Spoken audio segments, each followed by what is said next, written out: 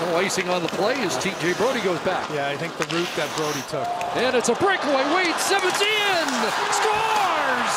The former Flyer bumps a slump, and Wayne Simmonds has tied it. You mentioned, Chris, the no icing. I think Brodie took a bit of circuitous route and the linesman waved it off. I think that might have caught the Philadelphia Flyers thinking it's going to be icing, and they just leave the middle on the change wide open.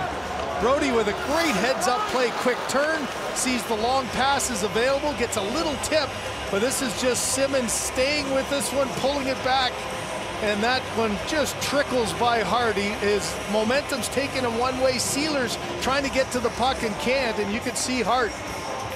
The bench's reaction, they don't